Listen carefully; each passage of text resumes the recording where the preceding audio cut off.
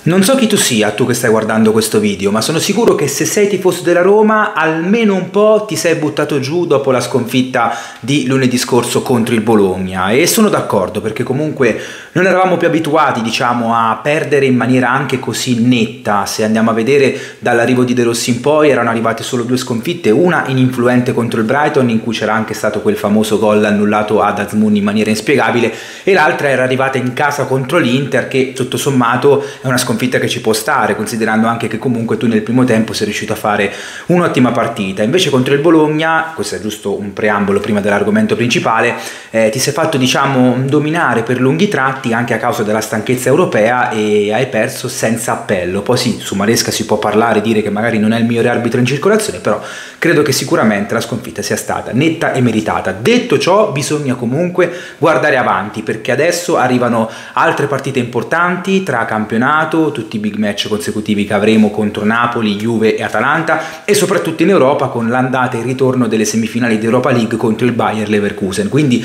non abbiamo veramente tempo per piangerci addosso anche perché domani giocheremo gli ultimi 20 minuti contro l'Udinese e un'eventuale vittoria cosa che chiaramente ci auguriamo tutti, ci mh, permetterebbe comunque di stare più tranquilli anche in ottica quinto posto. Prima di cominciare però con l'argomento di oggi, che è l'indiscrezione che sta uscendo in questi ultimi giorni di Federico Chiesa, alla Roma volevo farvi vedere l'ultimo pacco che mi è arrivato dal sito Calcio 2024. L'altra volta vi ho fatto vedere la prima maglia, il primo completo della Roma di quest'anno e questa volta sono andato sulla seconda maglia come vedete maglia Adidas, Riyadh Season, ho aspettato perché l'altro sponsor eh, avevo paura portasse sfortuna quindi ho preferito evitare. E ho scelto uno dei nuovi acquisti diciamo dello scorso mercato estivo, cioè Leandro Paredes, un gradito ritorno a centrocampo con il giocatore che dopo un inizio un po' sottotono con De Rossi soprattutto è riuscito a ritrovarsi, tra l'altro ereditando il suo numero 16 e diventando un giocatore importante per il centrocampo della Roma che purtroppo mancherà eh, sabato prossimo contro il Napoli. Mi hanno mandato mandato anche i calzettoni, eccoli qua, con il numero 16, e eh, scusate, i pantaloncini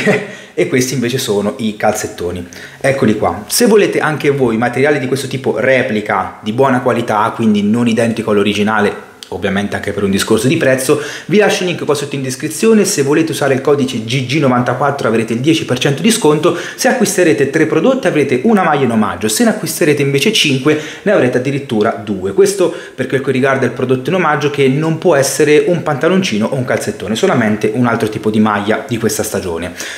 Detto ciò, possiamo cominciare. Allora, parliamo di Federico Chiesa, giocatore alla Juve ormai già da diversi anni, che eh, dopo l'infortunio subito guarda caso contro di noi eh, nel lontano gennaio 2022 eh, diciamo non sta vivendo il suo momento migliore dal punto di vista di forma e di rendimento. A livello numerico a livello di mm,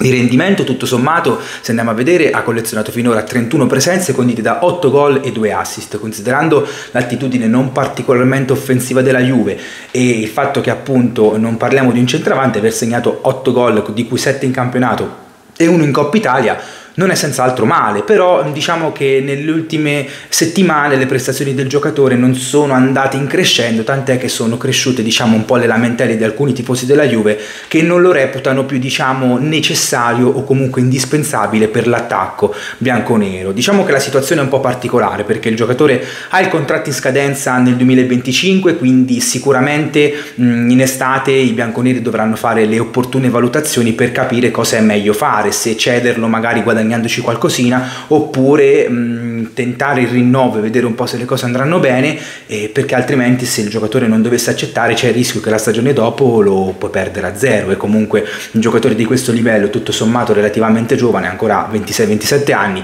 perderlo a zero sarebbe comunque negativo per le casse del club di, eh, di Torino. Ed infatti la situazione è ancora un po' in divenire perché mh, si sta cercando di capire se eh, il giocatore potrà rinnovare fino a mh, per, per altre stagioni consecutive e mm, appunto si sta cercando di vedere se ci possono essere squadre effettivamente interessate al giocatore e magari disposte a spendere un po' per il suo cartellino. Ora come ora vi dico già da subito che anche con le ultime indiscrezioni non si parla di offerta ufficiale, non si parla di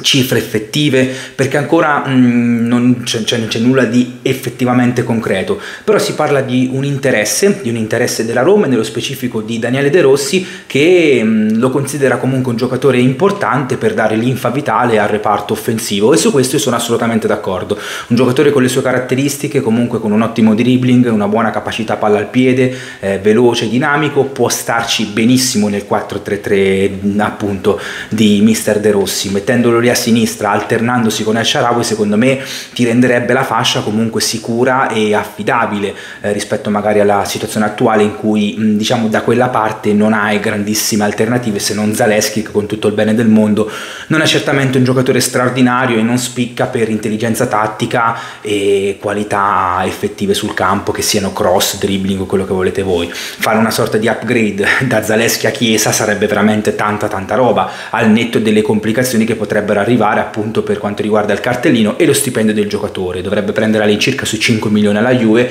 e quindi non è uno stipendio di poco conto, soprattutto se tu in attacco hai un'altra situazione in stallo per quanto riguarda Romelu Lukaku. Qua apro e chiudo una parentesi veloce, io sinceramente non so quale potrebbe essere la soluzione anche perché è un giocatore che non dà particolari certezze sotto questo punto di vista. Eh, io credo che eh, se si potesse rinnovare il prestito per un altro anno sarebbe fantastico perché magari eh, riesce a tenerlo un altro anno in più senza dover per forza spendere quei 40 milioni per il cartellino. D'altro canto io penso che per il Chelsea sia un'opzione veramente poco fruttuosa, nel senso che mh, alla fine un club arabo o altre squadre disposte a comprarlo anche spendendo una trentina di milioni le potranno trovare sicuramente. Eh, l'unico modo con cui tu potresti fare una cosa del genere è magari cercare di convincerli in qualche modo oppure pensando ad un'eventuale cessione di Abram come si era mh, parlato ormai diversi mesi fa oppure non lo so, magari convincere il giocatore a restare un altro anno a Roma. È chiaro che qua il discorso Champions League diventa molto importante, cioè se tu non dovessi qualificarti neanche quest'anno, reputo impossibile la conferma del belga. Se dovessi qualificarti, che sia vincendo l'Europa League o arrivando tra le prime 5, già è un po' più possibile, ma non è chiaramente facile. E detto ciò, è chiaro, se la Roma in qualche modo dovesse confermare Lukaku, l'opzione Chiesa diventa più complicata. Diciamo diciamo che è difficile pensare che la Roma possa tenere Lukaku, Dybala, Chiesa, El Sharawi, tutti i giocatori più forti del reparto offensivo. Mm, quindi è più probabile che magari Chiesa possa arrivare eh, al, in seguito alla partenza di Lukaku. E lì poi chiaramente dovrei fare ulteriori calcoli per quanto riguarda invece il ruolo di centravanti, perché io sinceramente con Ebram non mi sento al sicuro, tralasciando che sta ancora cercando di tornare in forma, ma io non mi dimentico tutta la scorsa stagione in cui comunque non ha avuto neanche così tanti infortuni. Ed è stata una stagione imbarazzante nel complesso e quindi io guardando la stagione scorsa e queste prime battute mm, non è che do per scontato che faccia male, però non sarei tanto tranquillo se dovessi giocare il prossimo anno per esempio con Ebram e Azmoun come due punte, soprattutto se metti caso dovessi stare in Champions League, non, non, non mi piacerebbe per nulla una cosa del genere, con tutto il rispetto che ho per l'iraniano e per l'inglese. E poi è chiaro, prendendo Chiesa comunque avresti più qualità e imprevedibilità sulle fasce, per quanto ho visto la partita ieri eh, contro la Lazio e per, a, a, parte un assist non è che abbia fatto chissà che, però non è che posso giudicarlo da una partita sola, eh, però perderesti qualcosa lì in mezzo, quindi un po' diciamo dovresti capire un po' cosa è meglio fare, se puntare ad avere un centravanti di peso e lasciare gli esterni più o meno similari a questi, non dico ottenere Zaleschi ma prendere un giocatore più o meno su quelle qualità, oppure se andare su un giocatore di livello perché a me piace tanto e per me nel 4-3-3 farebbe veramente faville nella Roma, nella Roma, di De Rossi, essendo anche giocatore italiano, secondo me può essere un fattore da non sottovalutare perché adesso non è che mh, lo dico perché De Rossi privilegia gli italiani agli stranieri, ci mancherebbe altro, però se andiamo a vedere tutti gli italiani da quando è arrivato lui sono cresciuti di rendimento, Mancini, Spinazzola, Cristante, Esharawi, eh, tutti giocatori che magari facevano bene anche prima, però con lui sono cresciuti ulteriormente e quindi secondo me sarebbe perfetto per ruolo, per mh, compiti che dovrebbe diciamo osservare sia difensivamente che offensivamente parlando e per tutto quello che potrebbe dare diciamo al reparto offensivo giallo-rosso. Quindi in sintesi il discorso qual è? A me Chiesa piacerebbe tantissimo, ovviamente bisogna valutare le cifre, sia di cartellino che di stipendio, ma se il giocatore non vuole rinnovare, dubito che la Juve possa chiedere 40-50 milioni per un giocatore che va in scadenza l'anno l'anno dopo.